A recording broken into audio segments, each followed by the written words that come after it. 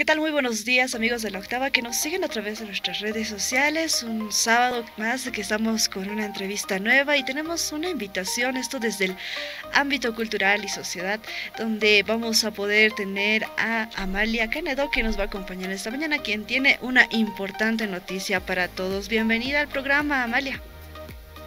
Muchísimas gracias, Liz, por el espacio. Te cuento que estamos ya a escasas 24 horas no mentira, casi 48 horas de comenzar lo que es el Bolivia Jazz en la ciudad de Cochabamba. Eh, vamos a vivir la fiesta de, más importante de jazz en todo el país y vamos a inaugurar en la ciudad de Cochabamba con el concierto de Aimuray de la ciudad de La Paz y Moonlight de la ciudad de Cochabamba del Teatro de la. Esta actividad se está realizando gracias a muchas instituciones que nos están respaldando y apoyando y es de ingreso gratuito para los cochabambinos. Eh, estamos recibiendo invitados desde Suiza y desde Francia también y obviamente desde la ciudad de La Paz. Perfecto, esa es una importante actividad y nos podrías platicar de qué trata, qué es lo que, eh, cuál es el objetivo, qué es lo que buscan, qué gente se reúne. Bueno, básicamente el Bolivia Festi Jazz es un evento que reúne a los mejores exponentes del jazz en nuestro país y lo que trata es de promover este movimiento musical en, en Bolivia, poder dar a conocer un poco más de, de, lo que es el mundo del jazz, dar a conocer su historia, dar a conocer sus raíces y entendiendo también que es un espacio también de reunificación, de reconocimiento y también de aceptación del otro, ¿no? De aceptación de las diversidades que existen en el mundo, las diversidades que existen en nuestro país. Al decirnos un país eh, pluricultural, también es súper importante tomar en cuenta que hay manifestaciones que nos llegan de otros lados, pero que de alguna manera también el público boliviano se apropia de ellos, ¿no? Perfecto. Eh, en esta entrevista también queremos saber si eh, cómo va a darse esto. La, veíamos que la entrada es gratuita, ¿verdad? Sí, en Cochabamba vamos a tener la entrada gratuita gracias al apoyo que hemos tenido del gobierno municipal de Cochabamba.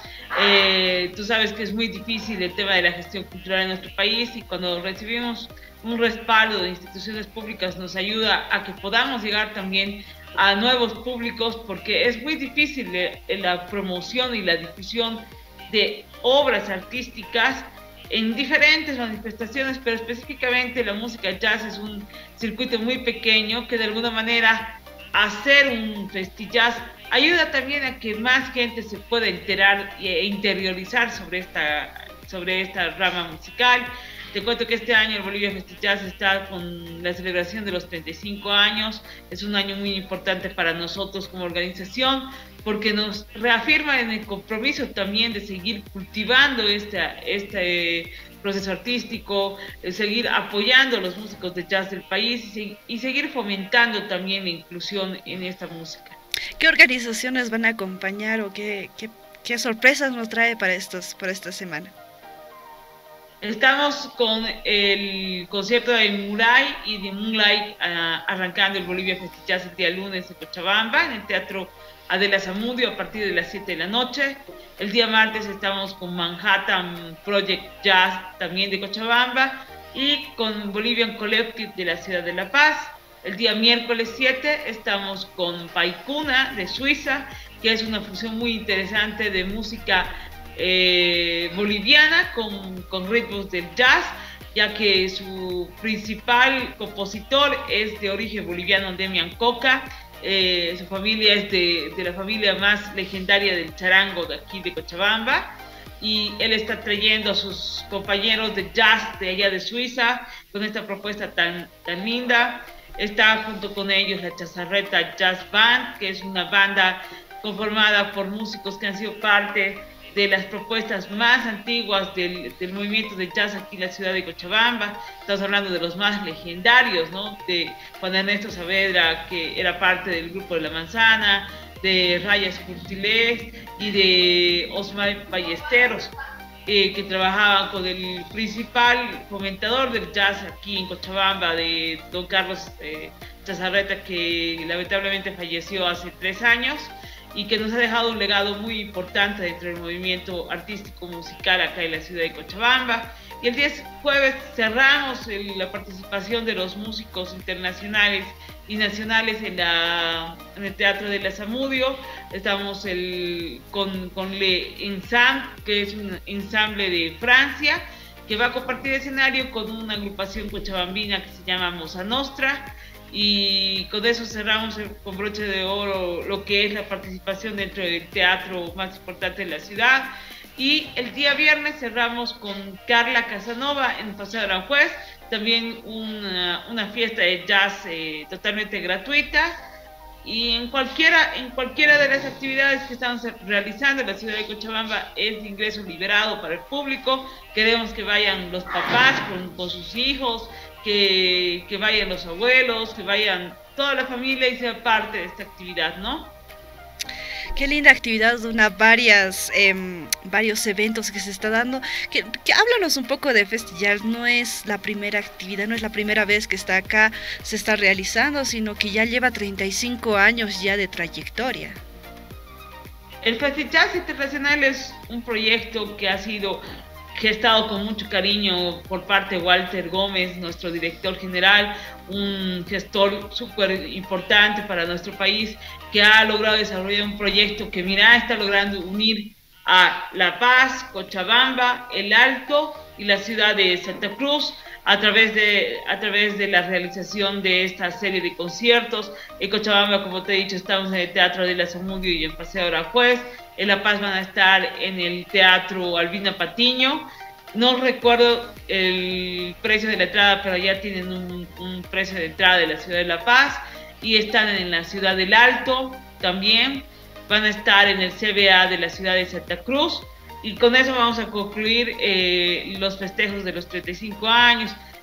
Mira, el festival, el Festi Jazz, eh, se ha caracterizado todo este tiempo, esos 35 años, por hacer una serie de actividades, entre estas las de formación para los artistas, donde se, se un esfuerzo con escuelas musicales para que los músicos que llegan del exterior puedan dar talleres específicos a los músicos. Lamentablemente por por temas presupuestarios y por temas de tiempo en la ciudad de Cochabamba no vamos a poder hacerlo, pero eh, en la ciudad de La Paz van a tener actividades extras y esperamos que para el 2023 ya las condiciones mejoren.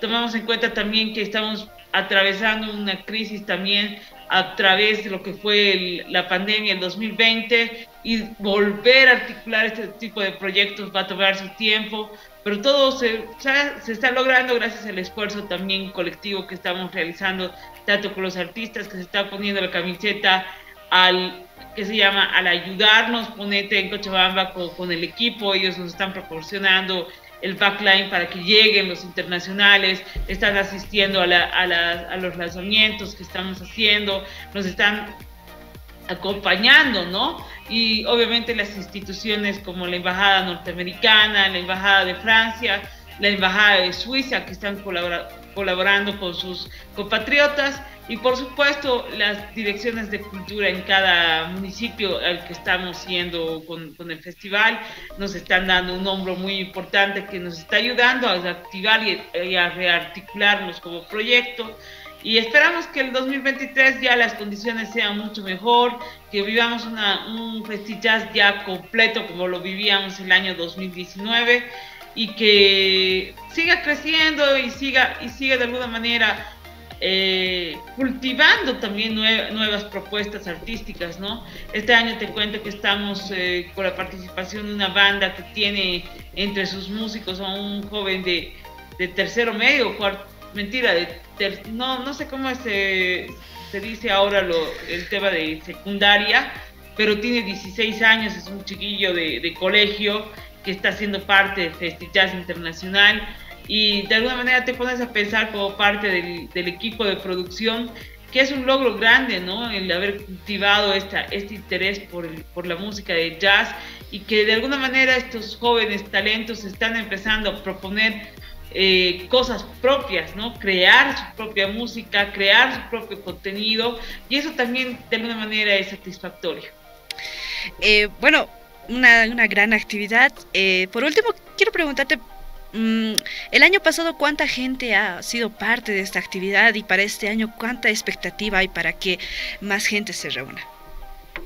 Recuerdo que el año pasado lo hemos hecho justamente por el tema de las limitaciones que había en cuestión de la pandemia, por el tema de que no sabía si se abrían o cerraban los, los teatros, se lo ha hecho de manera virtual. Hemos tenido participación en todo el festival, alrededor de, de 30 mil personas que han visto la, se llama, los conciertos de manera virtual.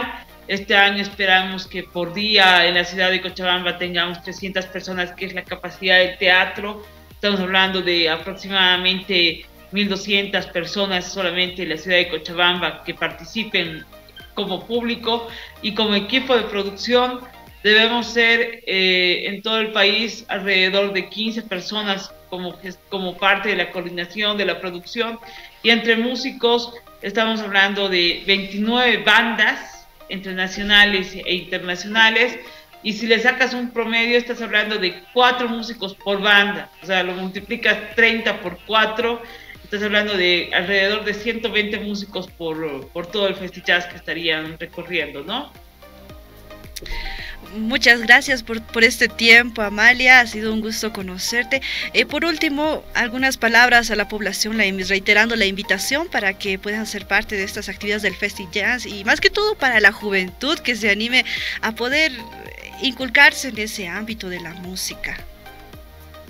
Claro que sí, para mí es un placer y un honor poder eh, ser parte de este proyecto. Quedan cordialmente invitados a las actividades del Festi en la ciudad que, que están viviendo. Si están de Cochabamba, las actividades son del día 5 al día 9 de septiembre. Estamos en el Teatro Adela Zamudio del 5 al 8 de septiembre. El ingreso es totalmente gratuito. Desde las 7 de la noche hasta las 9 de la noche va a ser la actividad.